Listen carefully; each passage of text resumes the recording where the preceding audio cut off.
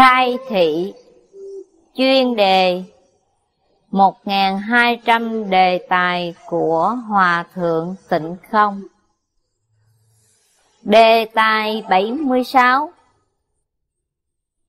Vừa nghe câu Phật hiệu thì liền khóc.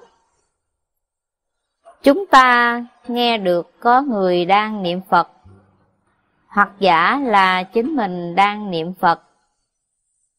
Nghe đến âm thanh câu A-di-đà Phật này, liền khởi lên tâm từ bi, tâm thanh tịnh. Vào lúc này, lo buồn, phiền não, vọng tưởng trong tâm bạn đều dừng hẳn, đều vắng bặt. Bạn nhất tâm duyên theo câu Phật hiệu, trong tâm sinh tâm hoan hỷ, khi rất hoan hỷ, hoan hỷ đến chân tay múa may. Có một số người nghe đến câu Phật hiệu, đều nổi hết gai ốc lên.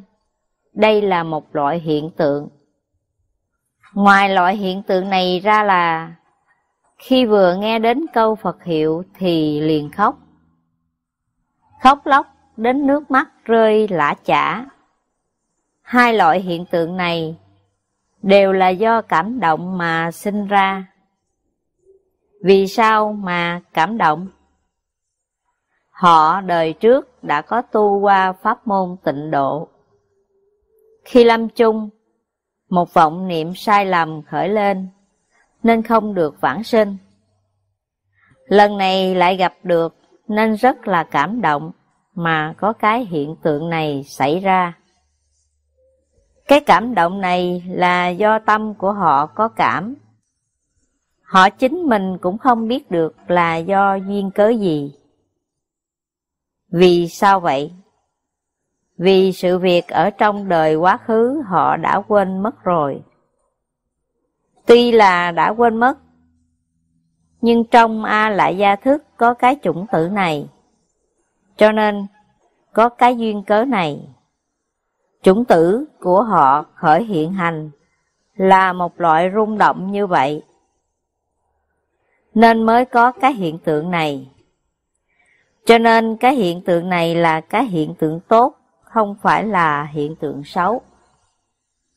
Thế nhưng đáng nên chú ý là cái hiện tượng này nếu như thường có, vậy thì đã bị ma ám rồi.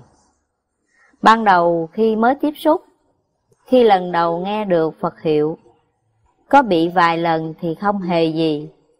Đây chính là trên kinh đã nói. Họ không phải là người thông thường.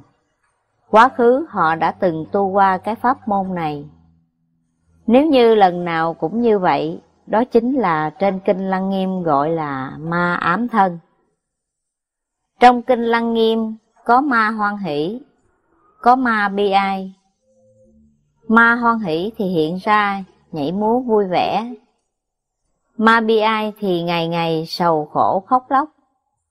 Nghe đến câu Phật hiệu thì đều là như vậy. Vậy thì chân thật đã bị ma ám rồi. Nếu như không phải, thường có hiện tượng này, vậy thì không bị ma ám. Lần đầu tiếp xúc thì có cái cảm động này về sau thì không còn nữa. Lại có người cảm thấy kỳ lạ. Có phải mình đã thối tâm rồi chăng? Có phải vậy không? Lúc trước thì có cảm ứng, hiện tại vì sao không có cảm ứng? Kỳ thật đây là hiện tượng rất bình thường. Cảm ứng chỉ có thể có một lần, hai lần, không thể có được nhiều lần. Đây là chủng tử trong A lại gia thức của chính mình hiện tiền. Ngoài ra có một loại nữa chính là Phật lực gia trì, giúp bạn khởi phát thiện căn. Người có thiện căn nếu không có duyên xúc động thì rất khó phát khởi. Người mới học Phật thấy được ánh sáng, ngửi được mùi hương lạ, thấy được tướng tốt họ bị xúc động, họ chân thật tin tưởng. Đây là duyên ở bên ngoài, là Phật Bồ Tát gia trì. giúp đỡ họ phát khởi tính tâm. Họ chân thật tin tưởng rồi. Về sau cái cảnh giới này không còn nữa, không phải thối tâm. Việc này chúng ta cần phải phân biệt rõ ràng. A Di Đà Phật